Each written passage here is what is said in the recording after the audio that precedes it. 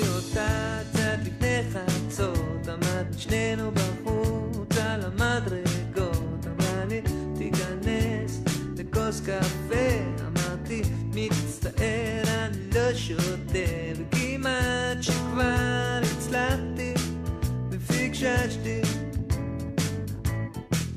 עברו יומיים שלושה,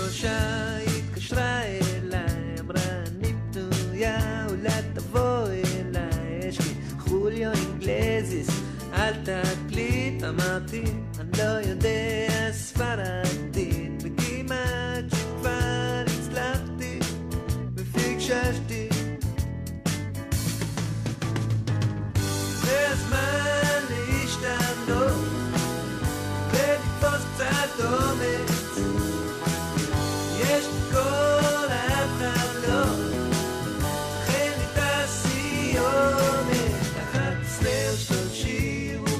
ופסקו של יום, אני נכנס לפיג'מה, מתכונן לישון, היא דופקת בדלת, אני מופתע, אומר, אל תיכנסי, אני כבר במיטה,